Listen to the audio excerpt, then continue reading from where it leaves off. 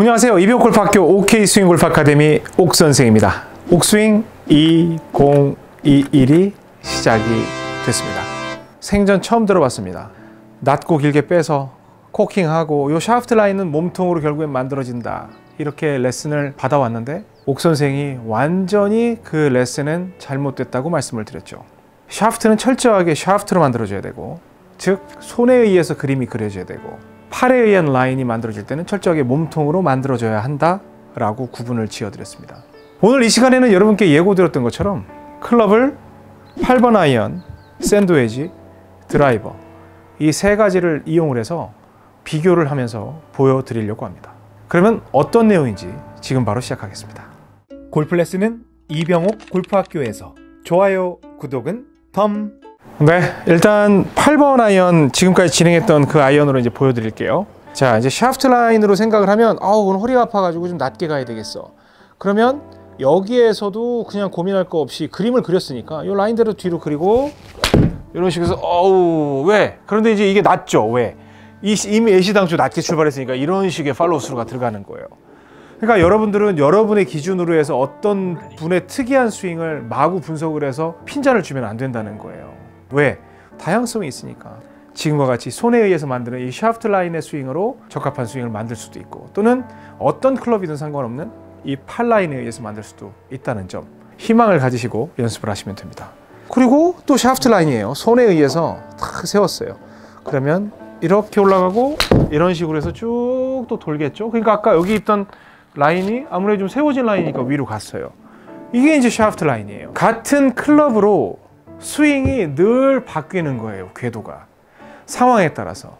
그러면 이 스윙의 라인은 다이나믹하게 그 상황 상황에 맞춰서 때릴 수 있고 굉장히 창조적인 볼의 구질을 만들 수가 있어요. 자, 그런데 우리 이제 8번 아이언으로 이 팔에 의해서 만들어지는 몸통 스윙을 한번 본다는 겁니다.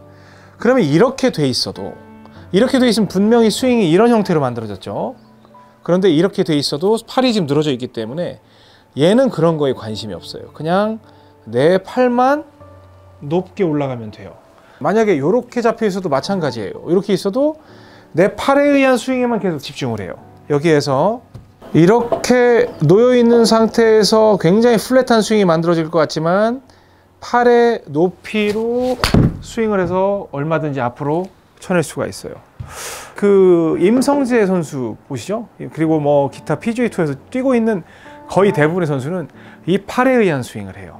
우리 구분을 해야 돼요. 지금까지는 arm 스윙이라고 생각을 하고 body 스윙으로 나누는데 손과 팔을 구분해야 돼요. 손 스윙이냐 body 스윙이냐로 나누는 거예요.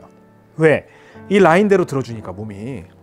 그리고 이렇게 있어도 이걸 어떻게 들지가 아니라 팔에 의한 스윙이기 때문에 이거 역시 높게 들고 스윙해서 또 피니시 형태로 들어가게 돼요. 그러니까 어찌 보면 내 몸이 유연해서 이것저것 생각할 거 없이 몸만 유연하고 일정한 스윙 궤도를 만들 수 있다고 생각을 하면 팔이 만들어주는 궤도에 의해서만 스윙을 하면 굉장히 쉬운 스윙을 만들 수 있다는 겁니다. 자, 우리 드라이버 볼까요? 이런 식으로 딱 놓였어요. 그러면 여러분들은 손에 의해서 만들어지는 그 스윙을 하는 분들은 샤프트 라인이 뒤쪽으로 지금 어떻게 만들어질까를 생각을 해서 뒤로 보내고 이런 식으로 치게 되면 당연히 follow through가 낮게 나오겠죠? 왜냐하면 지금 상당히 숙인 상태에서 뒤로 쳤으니까 공을 친 게 아니에요. 저는 그냥 그림만 그린 거예요. 또 낮은 상태에서 그림 이런 식으로 해서 쭉 돌려야 되겠다. 피니시가 이렇게 되는 건 당연해요. 이렇게 굳이 하는 건 잘못된 거예요, 오히려. 낮게 돌았으니까. 그런데 똑같은 스윙 형태를 이제 해볼 거예요. 지금은 샤프트 라인으로 그림을 그리려고 노력을 했죠? 이렇게 낮춘 상태로 했다. 그러면 선수들 같은 경우는 이 라인을 태우는 게 아니라 내 팔이 어떻게 놓여 있나를 봐요. 그러면 이 팔의 반대쪽은 이쪽이 되겠죠? 그래서 그 팔 쪽으로 몸이 돌아가고 이런 식으로 쭉 공을 치게 됩니다. 그러니까 저는 그 친다는 게 아니라 그 팔에 의해서 몸 만들어지고 또 팔에 의해서 만들어지는 그 부분만 보여드린 거예요. 그리고 이번에는 정상적으로 세웠어요. 그러면 어쩔 수 없이 이렇게 됐던 팔이 약간은 서죠. 그래도 이 팔의 위치가 어딜까 하면 요쯤이 되겠죠. 이 팔의 대각이니까. 그럼 그쪽으로 몸이 쭉 돌면서 위로 올라가고 쭉 이런 형태로 회전을 하게 돼 있어요. 골프용품은 옥스윙몰에서 좋아요, 구독은 덤. 그래서 몸통 회전이 익숙한 분들은요. 얼마든지 몸통을 이용해서 그리고 이것저것 생각할 필요 없이 스윙을 할 수가 있게 돼요. 그런데 이 샤프트 라인으로 만드는 그 스윙과 팔의 라인으로 만드는 스윙 중에 어떤 게 더 좋냐? 옥 선생이 생각할 때 익숙해진다면 팔에 의해서 만들어지는 스윙이 훨씬 좋아요.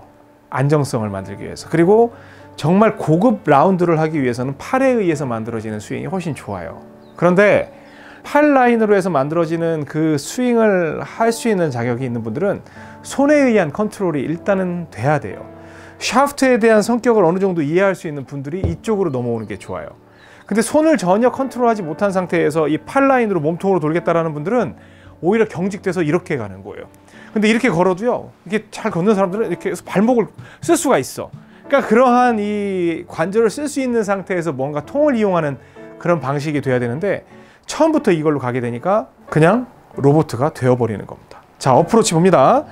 어프로치 할 때 만약에 이렇게 돼 있어요. 그러면 그 어프로치를 하는 방식은 이 샤프트 라인이 누워 있으니까 굉장히 낮죠? 이렇게 해서 이런 식으로 해서 치게 되겠죠.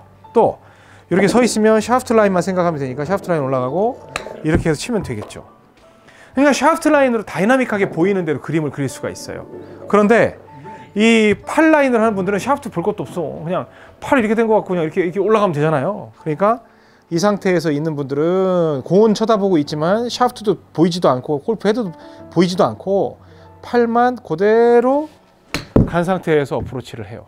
그러니까 선수들은 전부 다 팔에 의한 스윙을 한다는 거예요. 몸통으로 돌리는 이 팔 라인으로 왜 어떠한 상황 왜냐하면 어, setup이 이렇게 됐어도 팔이 지금 늘 이렇게 놓이는 건 아니죠. 이렇게 놓였으면 이 선수들은 어떻게 하냐면 팔 라인대로 가요. 샤프트가 아니에요. 팔 라인으로 가는 거예요. 막 이렇게 되면 팔 라인대로 올라가요. 이렇게 올라가요. 그러니까 upright와 flat이 이 몸통에서 얼마든지 만들어질 수가 있어요.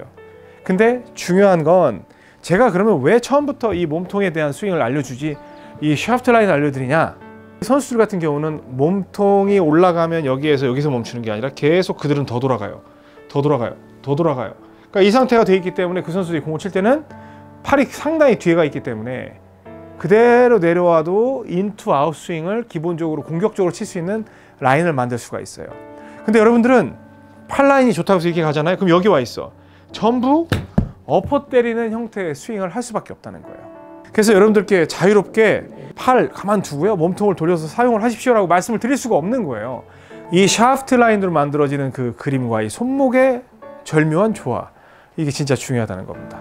또 어프로치를 하는데 뭐 50m를 한다. 그럼 이 샤프트 위치가 아니라 팔크기로 쭉 쭉 가면 굉장히 정확한 어, 그러한 어프로치를 할 수도 있습니다. 샤프트로 만들 때 스윙과 팔에 의해서 만들어지는 스윙.